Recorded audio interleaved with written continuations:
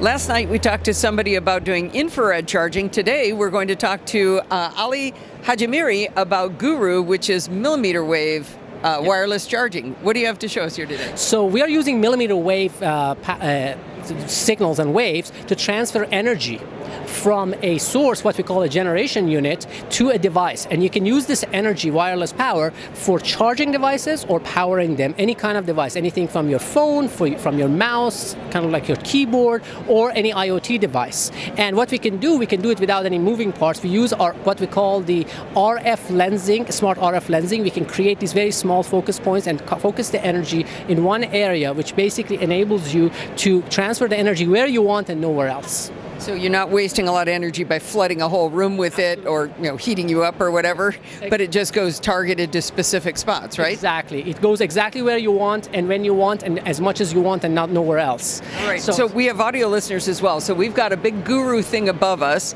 on a, a false ceiling, and then we've got a couple of charging pads here, or battery banks. Oh yeah. So what I call we call this that we call them recovery units, RUs. So so this is a demonstration of how you can actually recover. This can be incorporated into your device, but right now we are, as a demonstration, we are using it as a separate thing.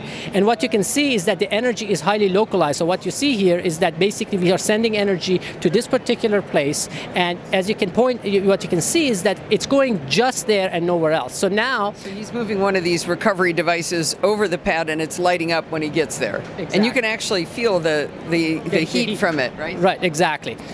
So what you can see is that actually you can actually even transfer it from one location to another location. So if you actually hit it and, and ask it to transfer from one location without any moving action, you can go from one place to another. So we are now going from pad one to pad two.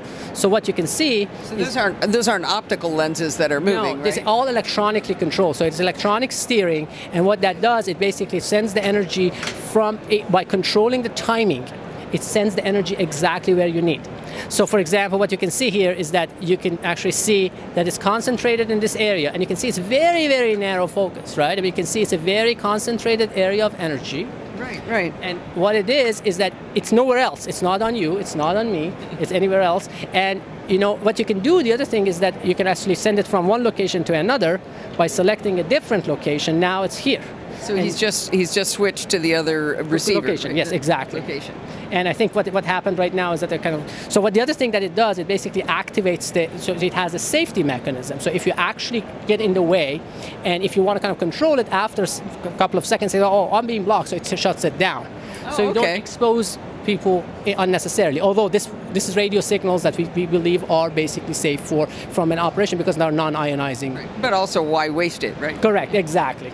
So how do you turn it off if I wanted to now not be wasting any of that oh, energy? So so the device only transmits energy when there is a device that says I need energy. So oh, it will okay. have to be an active request. So this is an active. Oh, okay, okay, yeah. that makes sense. So, so without an active request, there would not be any transfer of power. I got device. you. Yeah. Okay, we're going to cut here and we're going to go to another location and see right. something else cool okay. in the same area.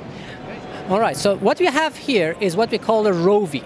So it's basically a roving generation unit. So this is a robot that's actually used to charge and send energy to other devices. So the idea here is that you have one of these things in your house or in your retail store, and it moves around, finds devices that need energy and power, and they, it, it will send power to them. So for example, right now, this is powering this light bulb that here, you can see that I have a light bulb that's on, and if I put my hand in front of it, you can see that it's actually wirelessly powered from that because I can block it by doing that. All right, I'm no going to get down here. I'm looking around. There's no batteries. There's no wires. Yeah. A light bulb is lit up because the Rovi uh, is, is pointed at. Exactly. It's transmitting energy to it. And the Rovi can go from one location to another location and finds another device. There it goes. It's moving down. It's going to turn the corner down here. It's going to go over to another light bulb. Right. This is very exciting. And what's happening is that the device goes and finds the next thing that's requesting it. Exactly. So the next device that's requesting power and basically going there from here. And, and what you see here is that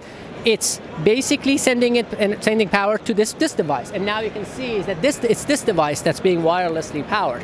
So, so, the robot came up, turned a corner, and then turned itself and rotated until it was pointed at the device that was requesting power. Exactly. And the idea here is that you have something like this in your home, and it's kind of like going around and watering your plants, so automatically goes around, and at night or during the off hours, it goes and finds devices. Like one of those vacuums? Exactly. Right, right, like, right. And, and then it would go around and find it and operate, and whenever it runs low on power, it goes and charges itself and then it comes back around. The labor savings in a business, I could see that being a and, lot. And, you know, you can think about it both both at home and as well as retail stores or warehouses where you need you have a lot of devices that right now are being operated off of a battery. All of the smart devices, smart home devices, all of the IoTs. And now what you have is that you have you don't have to worry about them because there's somebody constantly taking care of them, which is this little Rovi. So now we haven't actually talked about loss. So so transmitting the energy over the air is going to have loss. Right. What? How efficient is this? It's quite, the transfer over air for this frequency is very efficient for the distances we're talking about. We are going over tens of meters and, and, and like tens of feet and all those things. And what happens is that at these distances, the loss at the frequencies we are talking about is quite low. Now, if you go very, what's quite low? Give me a number here. The loss in the air is very small. It's actually a couple of percent. So so so. But but what happens is that once you get farther than a certain distance, depending on the size of what we call the recovery unit, which is the, the unit that actually controls the re- recovers the power, and depending on the size of that, a, a, fraction of that power will be recovered. So if you go far and farther and farther, it's just a law of physics. You will drop in terms of the amount of power that you receive. But over distances that the system is designed for, a good fraction of that power is recovered. So, and by good fraction, again, you mean a couple, so the, just a couple percent? So I would say no. I mean, it, it, it, from the, the power that's radiated, kind of sent out, transmitted, to the power that's kind of recovered, you're thinking about something like 50% of, of, of one five.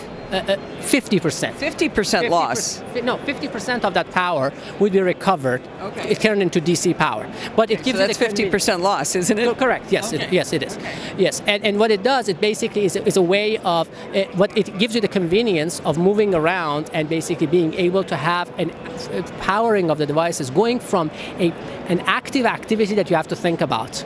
Oh, remember? Yeah, yeah old, definitely. Right. Remember, back to remember, the robot. Yeah. Remember the old days where we had to go and actively download our emails, and now it happens in the background.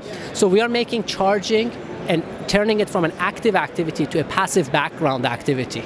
That sounds nice. That sounds nice. Let's move on to the next station. Very good. All right, now we're at station three. Yes, and this is what we call a desk unit. So this is a smaller version of our room system that we saw uh, earlier. And what it is is basically a system that you can put on your desk. This is a prototype of the system that you can put on a desk, and you can charge, use it to power and charge all of your devices from your phone to your, uh, let's say, laptop to your uh, mouse and keyboard, wireless mice and keyboards, things of that sort. For the audio people, what we're seeing here looks like a uh, like an old overhead projector. If anybody's old enough to know what those yeah, look like, or like a, a, a, bigger kind of like a desk lamp or something yeah, yeah, like, like that. Like a large desk lamp. yes. And, and then what happens is that now I'm pushing button number one, basically telling it to power, send power to that light. So that light bulb, there's no battery in it. We're just sending, transferring. And the light bulb just requested. Yes, correct. And then it, turn, it has turned on. The light bulb is a, is a kind of like a decent sized light bulb. It's not one of those tiny ones. And it's basically getting powered through this device. And then what you can do, if I push another button, basically telling it to send it to the phone now. And what you can see here, now the phone charging um, is showing. So basically, I like your graphics of the uh, battery charging yeah, there. Exactly. So when he pressed the button towards the phone, there's a uh, he's got a folio, and you've got one of the detectors, uh, one of the receivers Correct. there on the uh, on the folio case. Exactly, and basically that recovery unit is recovering the power that's being tra- generated here and feeding it to the phone, and the phone is using it to charge itself right now. And then you can have it for small IoT devices. You can see the little tiny strip on the left-hand side that says Guru on it, and that that's tiny strip that's unit, the recovery oh, unit. So can, see tiny, like half the size of my my uh, little finger. Exactly, and then that's basically just not not only powering that display, but also charging the battery inside that. So this is like a surrogate. This is an example of a what we call an IoT device would look like, and what right, the requirement. Right. So you have something that small that can attach to your IoT device. You can think about it as your uh, camera, the wireless camera, or security camera. Because security cameras, they're wired. They call them wireless, but they still need to be plugged in.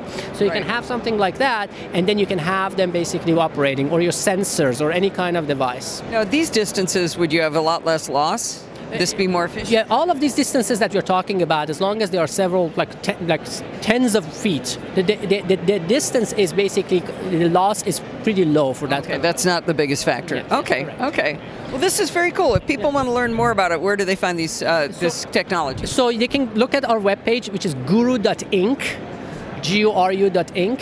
and- INC? INC, yes. And uh, so, so that's our webpage, and they can also contact info at, uh, to contact us at info at guru.inc, uh, and they can find a lot of information about it, or they can come to our booth at 41558 uh, at uh, CES. Great. Thank you very much. Thank you. Appreciate your time, Ali. Thank you very much.